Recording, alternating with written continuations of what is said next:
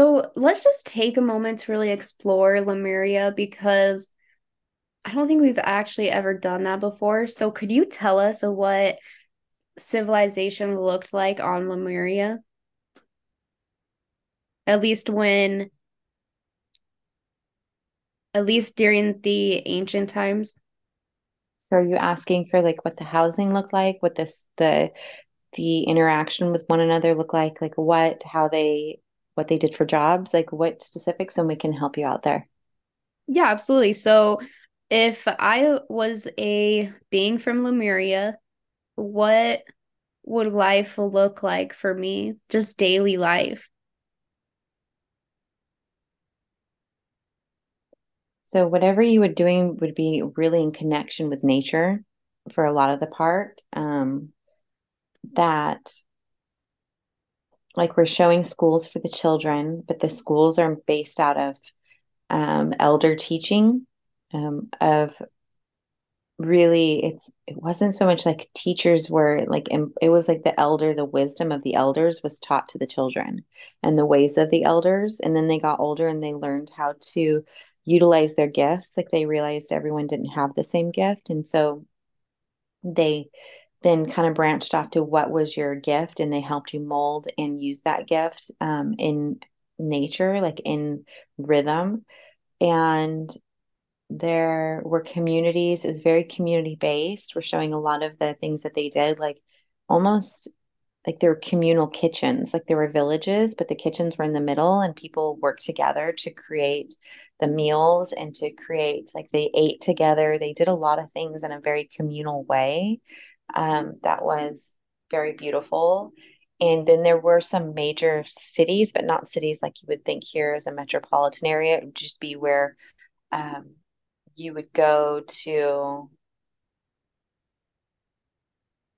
not it would kind of be like what was represented in court in uh, like um, in the castles kind of like you go there to experience a little bit of different socialization to get different tools and then you would take that information back to your communities. I heard that there were also beings that lived under the water. Could you show Carrie those beings today? Yes, there are glass domes, what you would think of glass domes within and cities within, underneath the water, where uh, the beings could interact with the uh, the people, I will say people for of Lemuria. And so it's like the people of Lemuria would go into these glass dome cities underneath water to be able to see through and engage with the underwater beings. Did Lemuria and Atlantis exist at the same time? Parts of them, yes. So it looks like Atlantis was an original time, and then Lemuria started to like they overlapped in a way. And because of the what happened in Atlantis, that's what created the destruction with, within Lemuria. But it wasn't really destruction, it was Atlantis still exists. So they both like you see the destruction, you see the negativity, but Atlantis still exists as well. So the separation, it was what you're going to about going through. It was the separation. Well, that makes so much sense if you look at it as an imprint that you see that you still see the destruction, but it's an imprint that was left because Lemuria was here before Atlantis. They coexisted, but it's just different at how they existed. They coexisted, but they did evolve at the same time. So a lot of people have really deep wounds from Lemuria. How can they become aware if they're holding on to these things? Well, whenever you feel something in energy of whether it be pain or anger or any of those emotions, you cannot automatically say to be shown through the light what is in the darkness and allow it to come to the surface.